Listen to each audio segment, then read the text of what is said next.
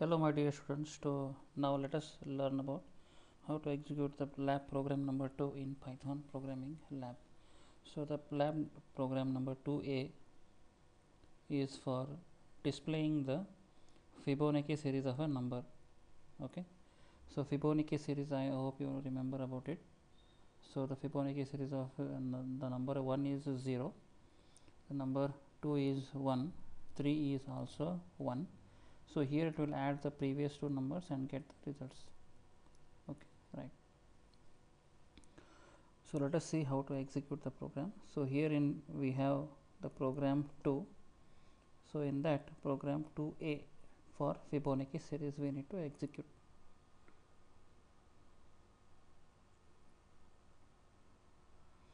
So already I have typed the code and kept it as program number 2a okay I need to run it now. So to run the program either you can go for shift uh, control shift uh, or else you can go for clicking on the run button. Press the run button. It will ask for the number for which Fibonacci series number you want to add. So if I want to go for uh, press number 5 and press enter on your keyboard it will show the Fibonacci number of a 5 okay right. So this is for the program number 2a okay next let us check about the program number 2b so the program number 2b is to we need to write a python program to convert the binary to decimal and as well as we need to convert the octal to hexadecimal. So let us understand about the numbers okay? So here these are the series of the octal numbers wherein we will write the octal numbers in the form of base 8 okay and the numbers will start from 0 and up till 7 right?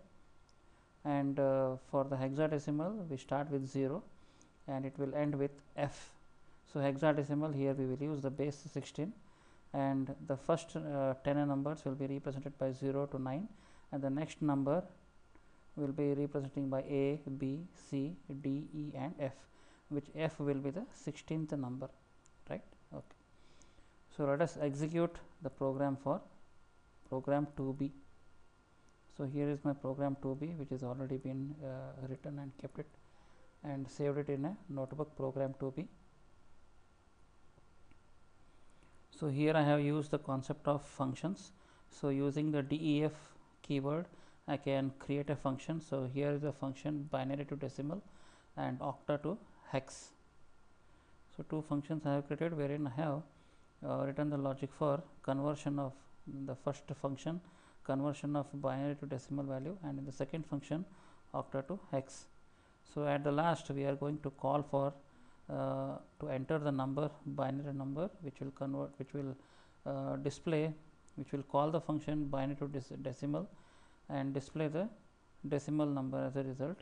And another input I will take it as an to enter the octal number wherein it will convert it will call for the function octa to hex and display the and display the hexadecimal number okay.